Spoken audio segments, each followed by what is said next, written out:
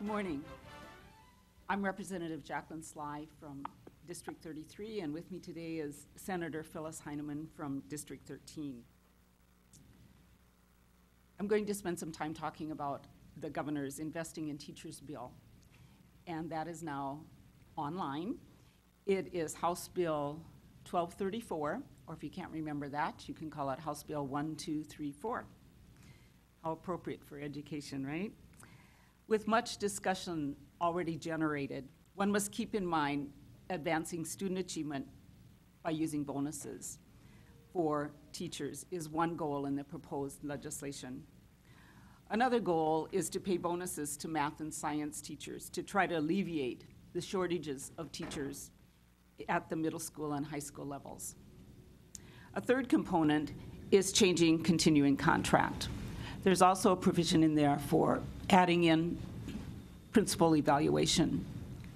One might be wondering where, where are all of these things coming from? And what is happening in, in the nation and also in South Dakota is that the ESEA, or Elementary Secondary Education Act, has not been reauthorized at the federal level. So the current act, which we commonly know as No Child Left Behind, has not been reauthorized. Earlier this year, or last year, I guess it was, our Secretary Schopp applied, asked for a waiver from the No Child Left Behind provisions. And with that, a lot of other states have done that. As they worked on that, uh, the, there was a flexibility waiver that came down. And as a result, this summer there was a work group called the Accountability Work Group. And we worked at looking at that flexibility that we have to submit to the federal government in order to receive a waiver. So some of the things that are in uh, House Bill 1234 are part of that. So as we look at this, we wonder, uh, why are we having all of these changes? Well, throughout the whole United States, there is a call for education reform. South Dakota is not any different. Other countries are also taking different approaches than the traditional way that one thinks of the school that maybe they attended or even the school that they are working in right now. Be reminded that the governor's proposal is a plan, a framework, and it's not necessarily the only plan. He is someone that is trying to take into account the federal regulations that are coming down and to also apply that then into changes in the South Dakota education system. There are opportunities for anyone with ideas to share them with um, people on the education committee or um, through email or private conversations or through um, telephone calls. We're open to those ideas as we consider a map that's being laid out right now. Now there is no specific one-way road that we have laid out. We, we're um, paving those roads, trying to find which road that we want to take and I believe the governor's plan uh, provides that opportunity for us. Some of these proposed changes are not entirely new to South Dakota, especially the concept. In the past, there have been efforts to look at ways that teachers are paid. During the summer of 2002, there was a summer interim called the Teacher Enhancement Review Committee. There were key education stakeholders on that committee.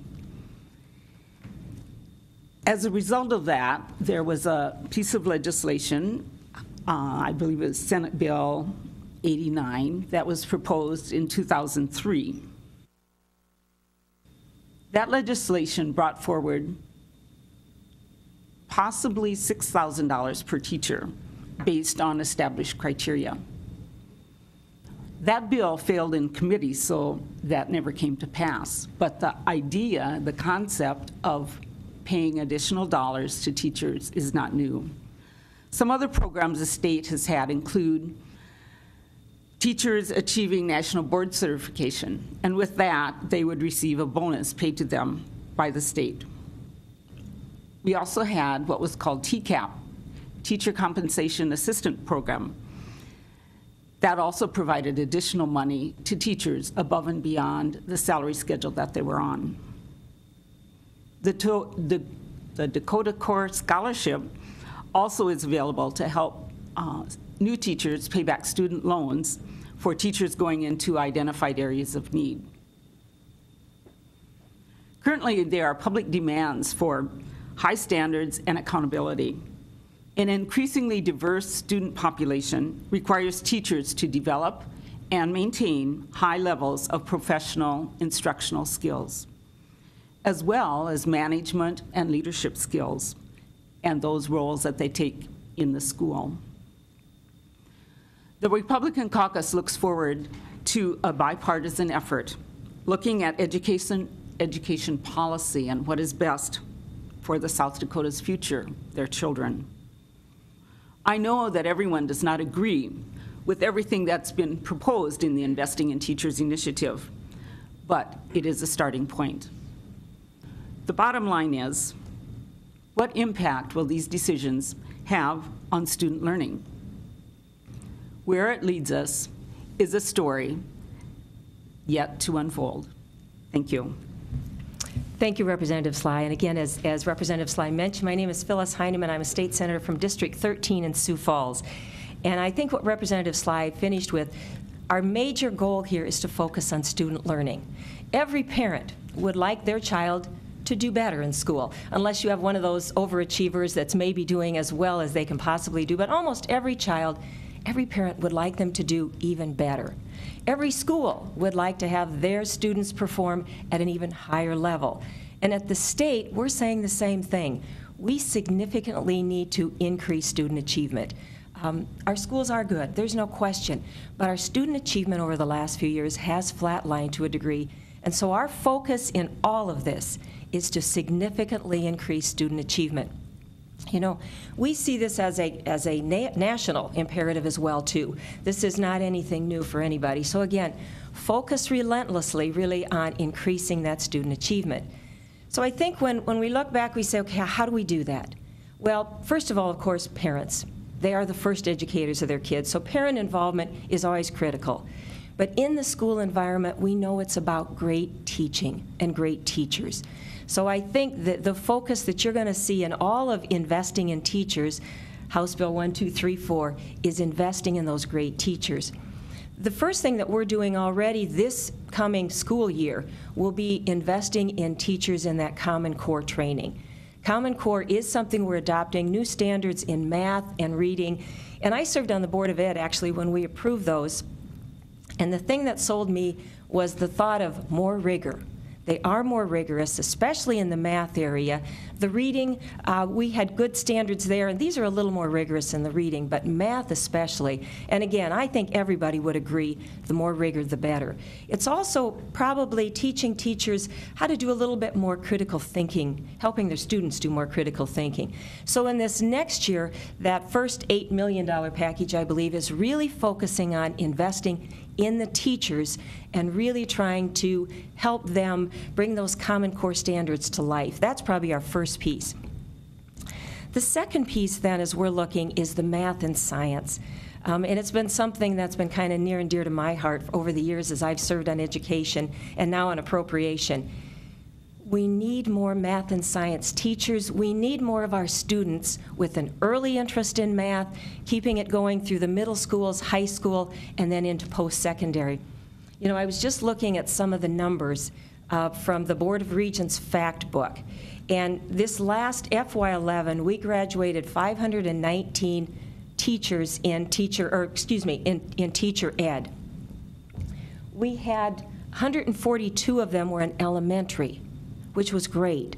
But the areas that we really see an issue with are math and science. Now, math, we did have um, 19, which is good. That's an increase. But across the six regental, that's not a lot of kids. What was kind of um, alarming is in chemistry. We had one. One teacher ed grad in chemistry last year.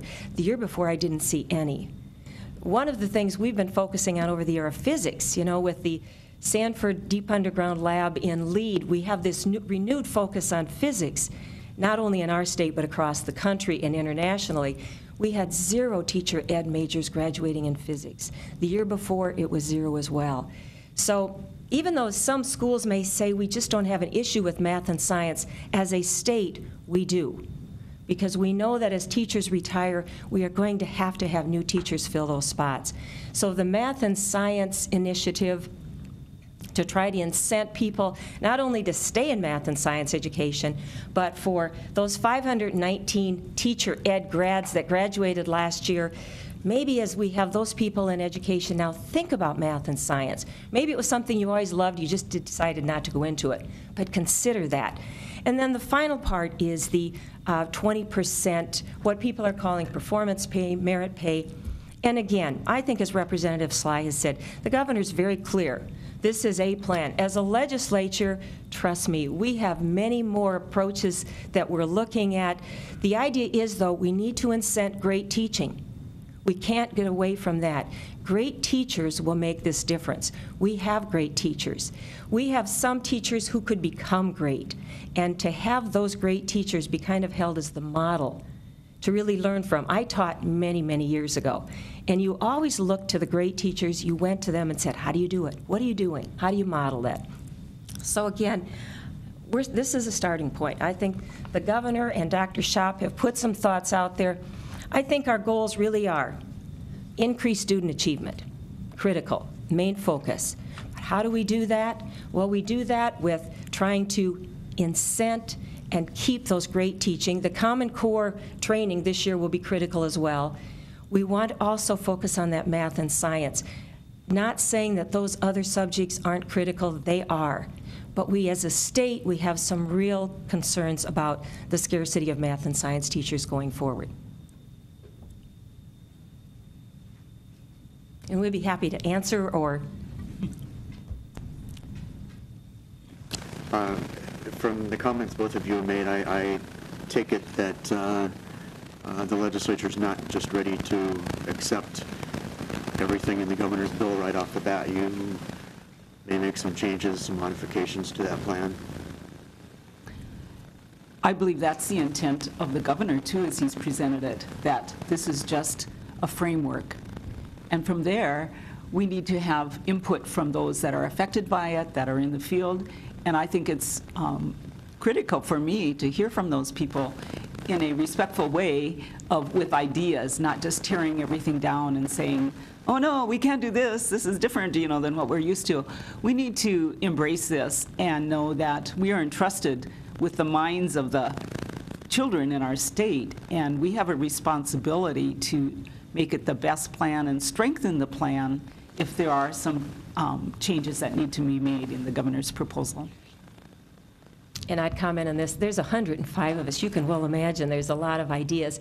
I think, um, again, looking back at those goals, I think we still need to keep those in mind. Student achievement, um, investing in great teachers in, in the math and science area, and really trying to, to focus on those great performing teachers. But there's a variety of ways, and again, these are not new topics. Uh, those of us that have been around for a while, we've, we've looked, we've talked about these. Um, As Representative Sly mentioned, almost a decade ago, when, Rep- or, excuse me, Senator Olson and Representative McCauley had that summer study, you know, and at that time, a lot of the education organizations, whether it was SDEA or Associated School Boards, were really quite favorable to this concept of teacher performance. We've got to focus on what makes that great teacher. And I think the more you can, you know, we have, we recognize Teachers of the Year all the time, and we, we really, with great uh, fanfare, talk about how well they do and what they do, and try to, we really try to imitate some of their practices.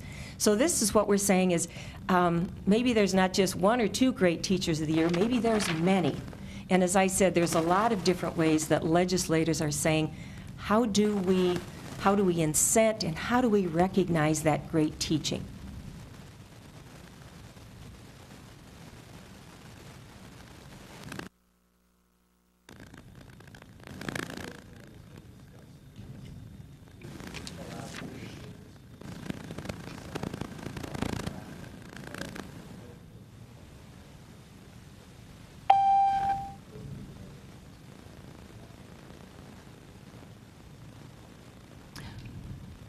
In the, in the bill, it does allow some for flexibility within that local school district, especially looking at the plan that is with um, uh, the 20%.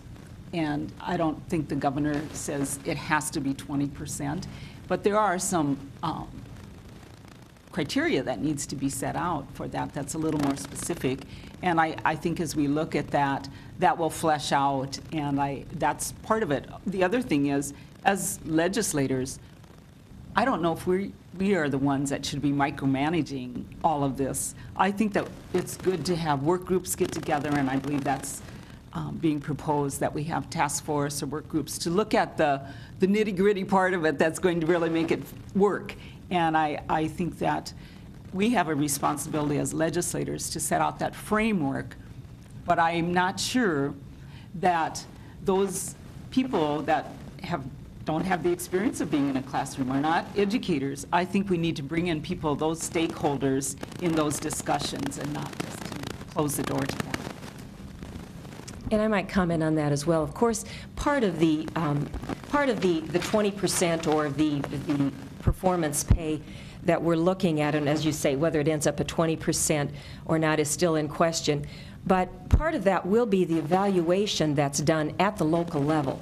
And that, that is going to be a key part of the accountability model and, and just moving forward to really um, help those principals and those administrators be able to really implement this model of evaluation.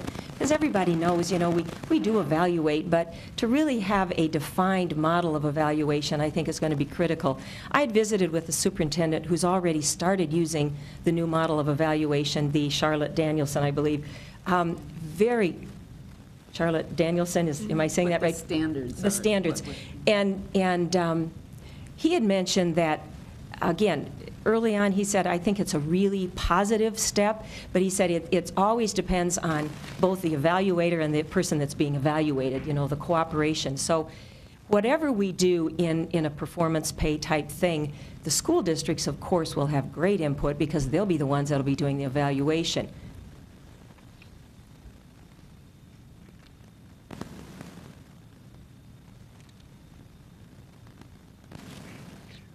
What's, could you tell me what's the mood in the legislature about the um, possibility of, of, of doing away with uh, tenure uh, for new teachers? I believe that depends on who you talk to. It's um, certainly been a point of, of discussion because there are um, misconceptions sometimes of what continuing contract does and doesn't do. And I think that as we look at continuing contract, that's been something that's been in place for quite a few years. And I will share a personal story that might tell you why some of this came into place. When my mom was teaching in her second year, she was married and she was pregnant.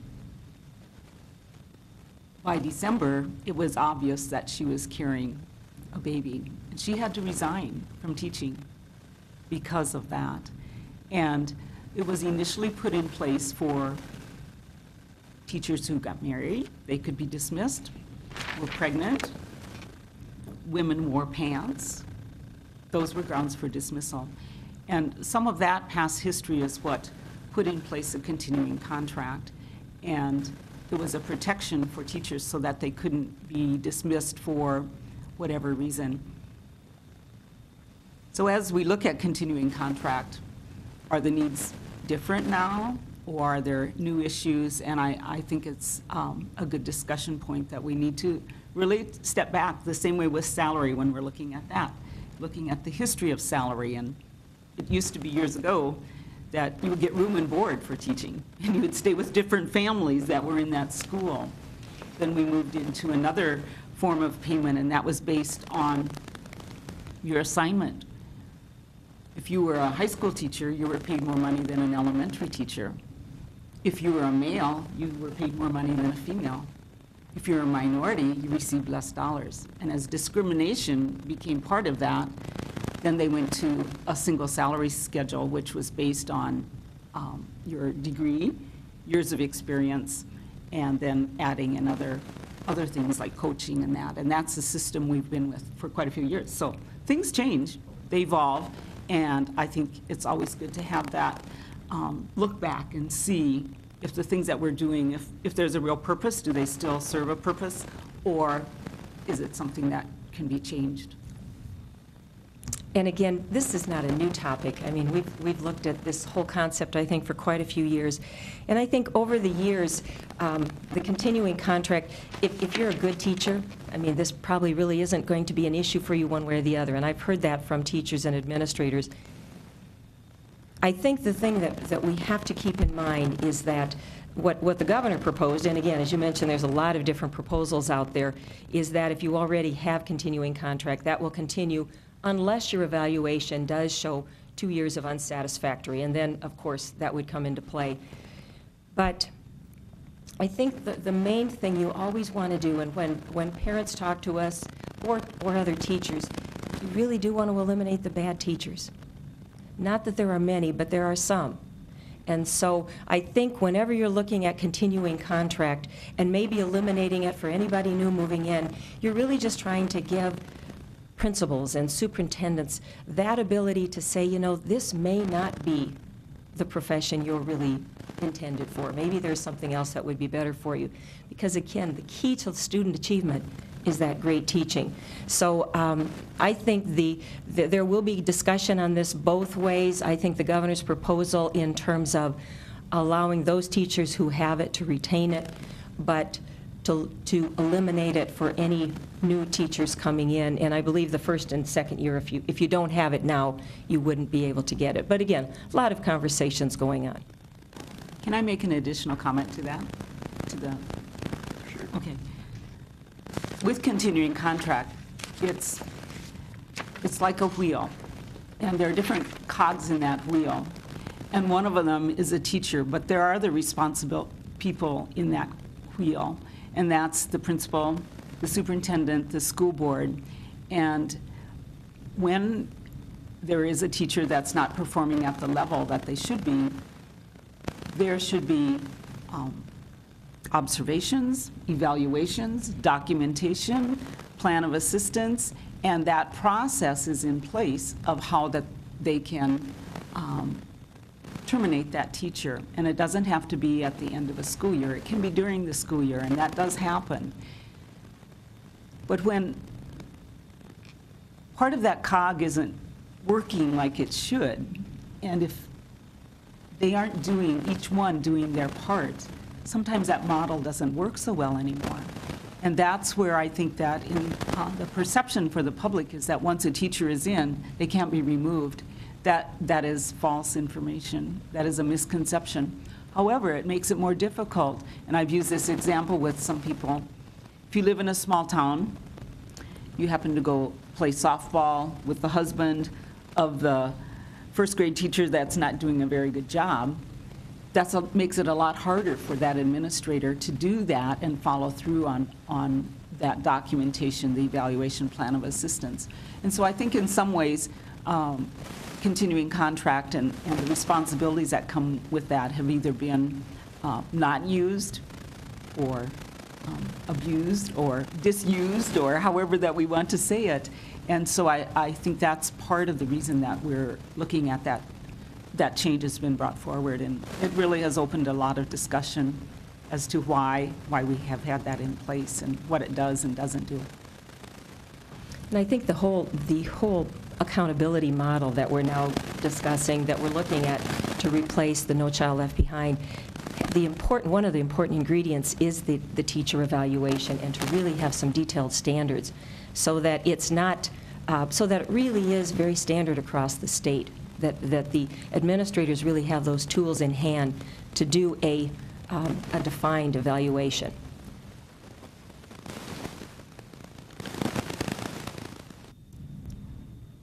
Are there any questions from the phone participants? Hearing This is none. Marin with KDLT out of Sioux Falls. Um, I was wondering, can you just um, speak to the thought that um, of the proposed um, state flag change?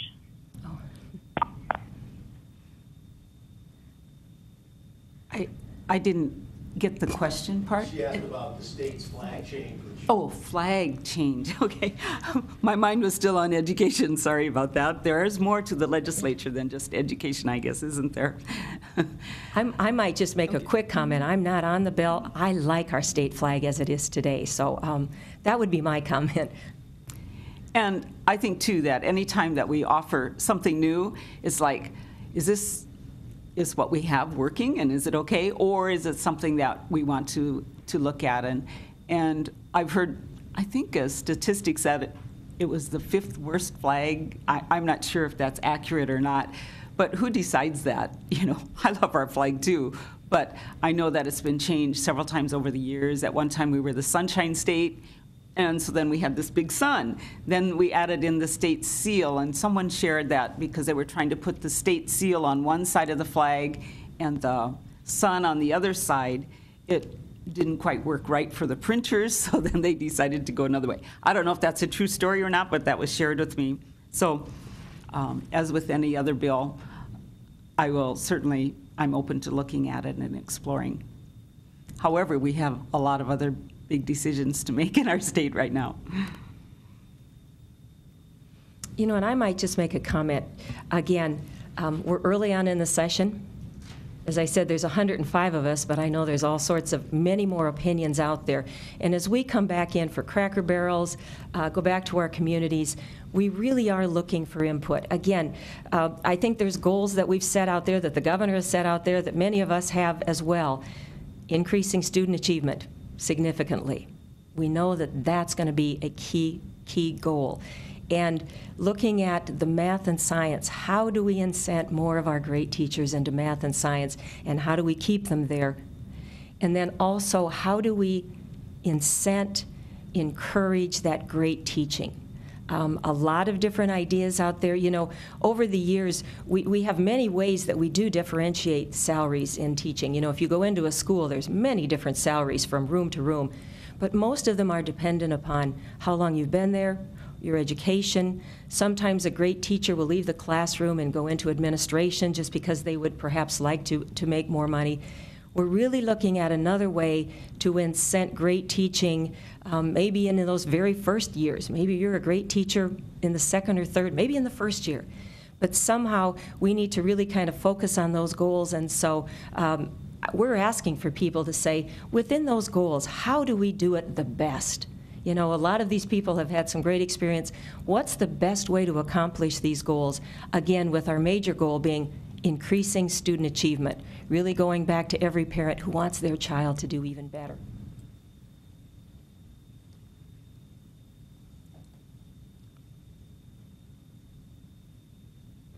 Any other questions from the phone?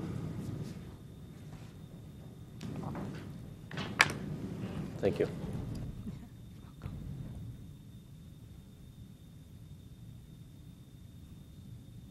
Again, we're open to ideas. Talk to us. Give us